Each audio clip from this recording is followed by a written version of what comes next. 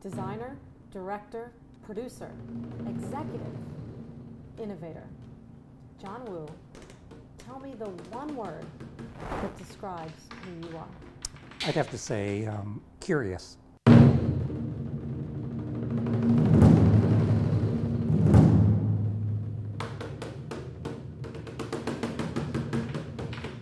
John Woo, tell me a little bit about yourself. Why Asian Cinevision?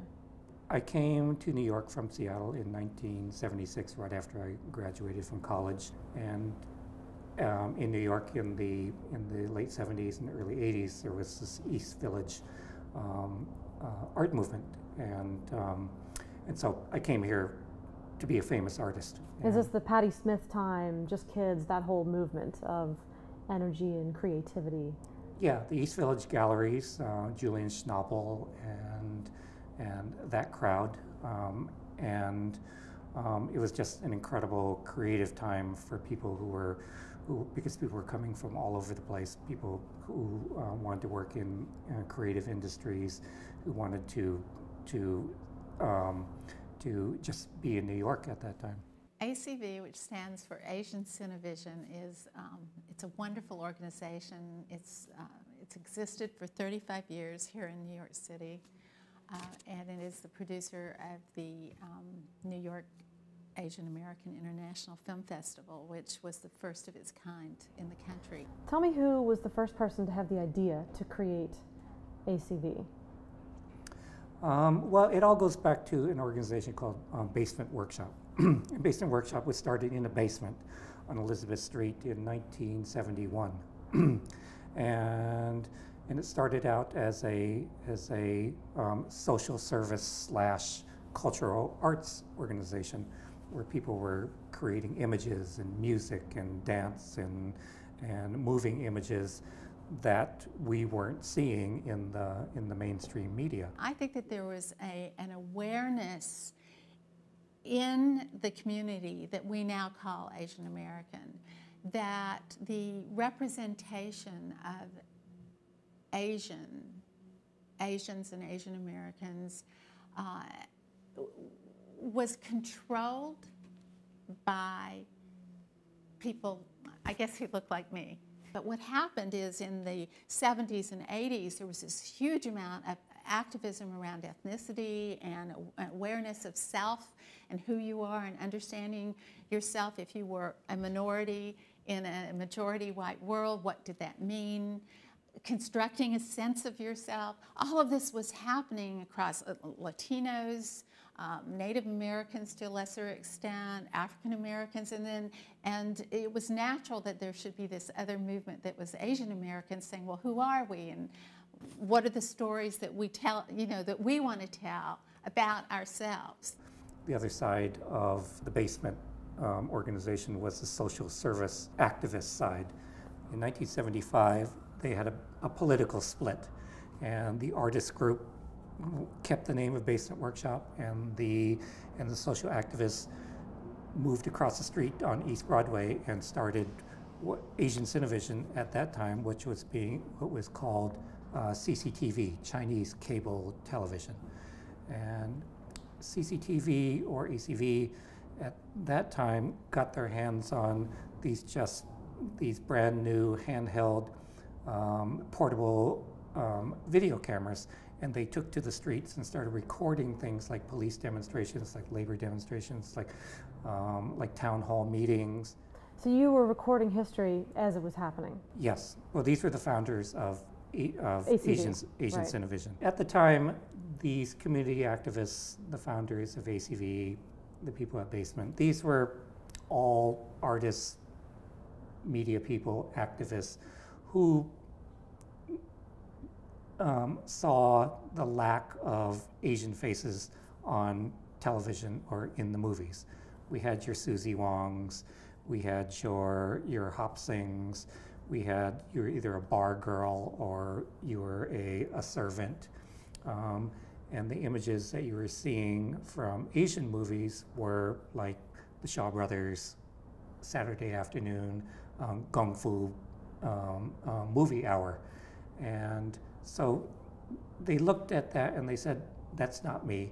And if we're going to be able to want to see ourselves um, in the media, then we're going to have to create it ourselves. We're going to have to write our own stories. We're going to have to produce it. We're going to have to train um, um, people with skills to be able to produce these stories. Do you think that contributed to the success early on? Of course, yes. Um, we didn't call it do it yourself then because all these organizations were collectives. And so, um, so for example, there, um, there was a film produced early on in um, ACV's history called Spikes to Spindles um, by the, um, uh, the famous documentary filmmaker Christine Choy. And, and it really chronicled those times. It was made in the late 70s. Everybody worked on it. And, and it was shot in film. And what they, what they did was they ran around Chinatown and recording and recording, recorded these um, kind of conflicts between like the police and the community, between the um, um, the Chinese community leaders and the up and coming up and coming activists who wanted their voices heard. And so it was pieces of media like that which really were able to be distributed throughout the um, uh, throughout the country, throughout the world. And remember, it was also the um, uh, the time when the video cassette was was invented, and so you could take this media and send it to wherever you wanted to send it, and people could watch it.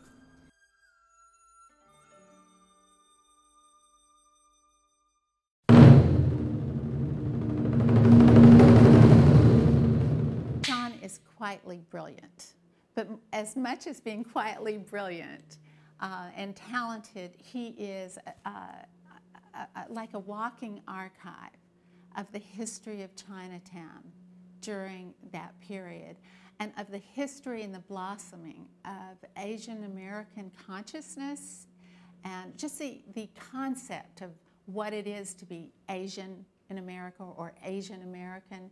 He has all that history. He's a walking history book. When I look back on this time with you and you telling me about it, it feels incredibly exciting and a lot of changes, social changes, uh, a lot of movements, uh, you know, the civil rights movements, just, uh, you know, all of this stuff is going on at once.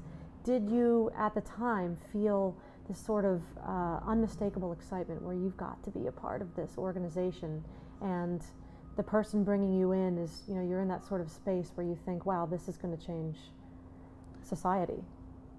Well, I don't, I didn't, I didn't and don't think of it like larger terms like that. Okay. But here was this community that I fell into, which was creative, was um, was um, they were exciting. They were like all my age, and and we all had the same sensibilities, and you know we. Um, uh, we did the work, um, we socialized together, and here you just meet um, just a broad swath of people that you've I've hadn't met in my life. So, especially with the you know, the artistic immigrant community. And people were coming from, from all over the world, and they had these you know, visions of creating things and, and of, of making, making a statement. Well, tell me about the organization's growth. The growth of its vision seems quite extraordinary. I mean, there was a pretty broad scope to begin with. Um, and tell me how it expanded over that, you know, the first couple of decades. In 1978, um, a group of filmmakers, scholars, um, writers, cultural critics, they got together and they said, you know, um, we don't have a, a showcase um, um in the media where we can actually collectively um, view and screen media, movies, film and video at that time, by, for, or about us. In 1978 was the first uh, Asian American International Film Festival. Did ACV and sponsor that? ACV created that. Created it, okay. Yeah. And it, it was people like uh, Larry Chua, like Somi Roy, um, uh, Daryl Chin, B. Sung, Christine Choy, as I spoke of before, who got together and said, okay, let's organize an Asian American Film Festival they didn't, I mean, everybody knew somebody who was, who was making films, right? But nobody knew the kind of response that they would get. They didn't know how many filmmakers out there who were making, um, films or videos that were dealing with the Asian American identity or the Asian American experience. Was that the purpose? Was it to be about the Asian American identity, or was it just uh, anybody who was Asian American who was creating content? Um, absolutely. It was, at that time, it was, it was a time when Asian American identity or Asian America itself was being defined. And so getting these points of view from all over the country, and they put out a call for submissions, and they got something like 60 films, Wow. 60 short films, and um, and even got a few submissions from from Asia. And so the first Asian American International Film Festival was held at Hen- Henry Street, and it was over a weekend. The Henry and Street over- settlement, is yeah, right? over Mm. three days. And, and it was the first showcase in the country that devoted itself to, to, um, to screening the film and video works of, of um, filmmakers of Asian descent. Did the Western media come to that? Um, yes. At the time, um, there was there were San Francisco organizations, there were Los Angeles organizations, and people were in touch with each other because people traveled around to the different activist centers to see what they were doing, to exchange ideas. People were friends. At the time, did that feel significant that the Western media had decided to feature Asian America? Because it seems like you were looking for a voice on a largely European stage, and suddenly you have the voice. You've even got a microphone. I mean, the Western media has arrived to hear what you have to say.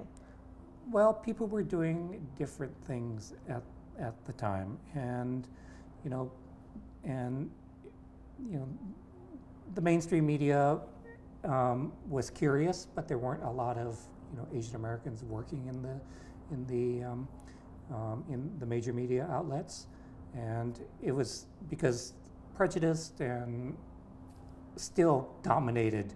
You know, we were in this kind of minority world Right. and people were knocking at the doors and people were demanding representation and and Who was demanding representation? That's we all were we Right. all were every organization i mean every ethnic group had its you know its umbrella of of of activist organizations he calmly keeps going. He has a level of persistence while staying creative. You know, there's this temptation when you're working hard and you're persisting to, to let the tiredness get to you.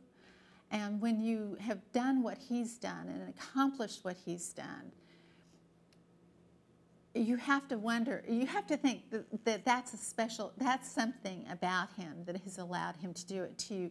just keep persisting, to keep his vision, to keep the vision and mission of ACV in mind, to not lose hold of that, but also not get tired. we're still telling stories about the asian american experience and and but now with um, film and video and all kinds of media being being a global medium we get every year when we put our call for entries we get three to four hundred entries from around the world from Compared across to 60 when you first started. Yes, from the across the Asian diaspora. And we're talking mm-hmm. about Asians in Russia, Asians in Denmark, Asians in Kenya, Asians in Johannesburg, Asians in, in Buenos Aires. We're talking about the Asian experience throughout the globe. And you just see the way that that when the stories come in, what people are looking at, what they care about, what stories are they writing. What do they care about?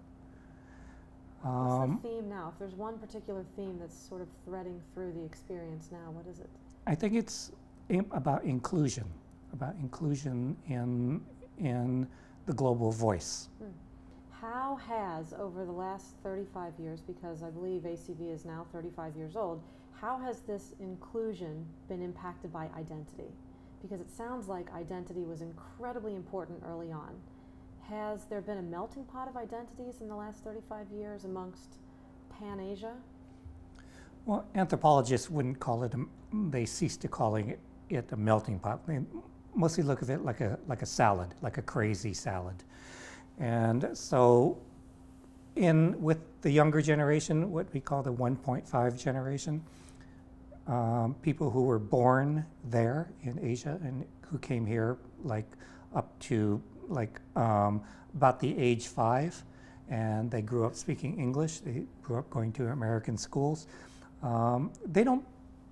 We're, we're not asking everybody to be the same. We're asking for you know, for people to take what to bring what's valuable and keep it, and and to bring what's different and share that with us. So bring their individuality, but be a part of the group. Yes. Right. And we are, we will, we're creating an Asian American sensibility. We're creating this, this great salad of um, where we respect each other's cultures and we learn from each other and, and we, we incorporate that into what we do. Well, let's look forward a moment. Um, 35 years have brought ACV and Wu Art to some extent, and a few less years than 35, but it's brought ACV an extraordinary amount of success, a very broad scope. Tell me about the next 35 years. I hopefully will be here. I mean, on the planet, I think I will.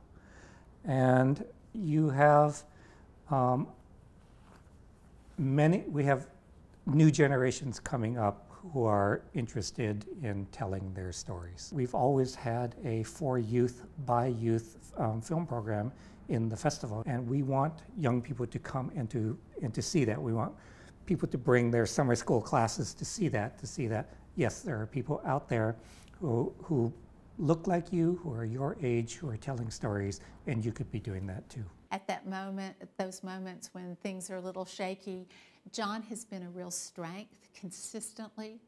He has come in and been, in at times, a hero.